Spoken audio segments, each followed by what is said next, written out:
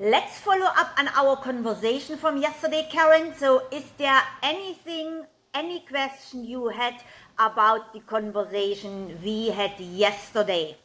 The only question I have is like, I love the idea of opening a, a view for a page about, and just like helping local business owners, telling them what, what's going on, even just promoting that like while business as usual is not going on right now, there is still services, there are still services that are happening. And this is how you can reach the cosmetics lady or the restaurant or this and that and that.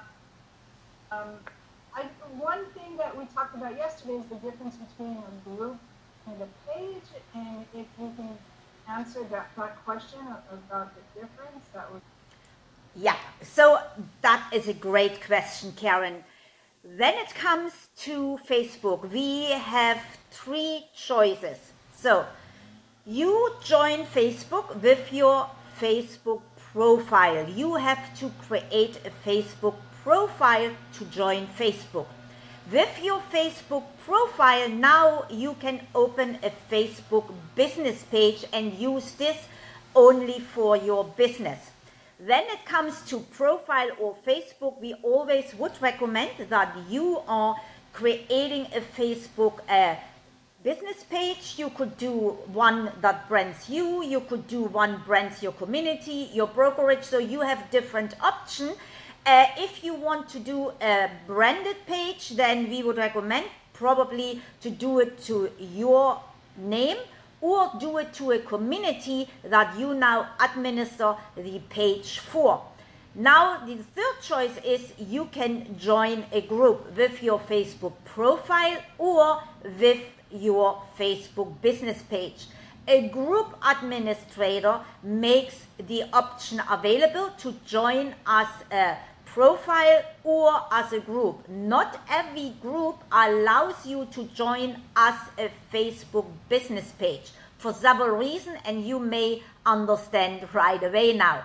When you are joining a group with your Facebook business page, we can capitalize on the back end and um, capture everybody in an audience that interacted with your Facebook page. That means now your Facebook business page becomes the main source when you are uh, sending it out. That is why we want uh, our videos to be sourced from our Facebook business page and then we are sharing it to our profile and to different groups. Same with our posts. When we are doing a post, we can share it to other pages, we can share it into groups, and we can share to our personal page, where now those Facebook business page is the main source and everything comes back where we now can build audiences, everybody who engaged with us, everybody who watched our videos and that is the difference between your profile and your business page.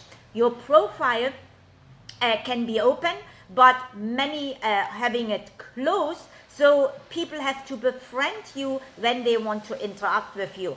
Right now there are changes coming to Facebook where when you only had friends and nothing was visible to your audience, you will stay in the friend zone when you had your profile open where everybody could follow you, Facebook now will take those pages and convert them into professional mode where now your friends and your public followers are combined in one audiences and you see all the insights from your uh, professional mode page or from your profile. So we we have an open Facebook profile, so we will have combined our audiences, and that allows us not only to see the insights, what is going on on our profile, but also allows us to boost. So we are not taking any action on our profile, we are sourcing everything from our business page because I have much more option like doing an audiences, capturing video views, uh, putting everybody in an audiences who is engaging with our uh, page. And that is why that becomes the source. So when you are uh, going into Facebook groups with your business page, now everything comes back and we can capitalize back and and building audiences and do all sorts kind of things. So that we are always staying top of mind and are able to build our brand to put out our name that we are serving the community. Okay and then so but if i use a page can i have the same restrictions on a page too when you have a page, you can do some restrictions. So your page is usually open. You can public post or you can build uh, audiences within the Facebook page where audience only see it. You can restrict commenting or uh, posting on your page on the back end, but uh, usually people are commenting and when uh, so when if somebody is posting on your page that will be in a different feed many times spammers, so you delete them, but you want to be your commenting open so that you have the interacting on your page. So if a page is open, anybody can post on the page. Yes and no. So you can restrict it and you can allow it. So it's a decision you have to make.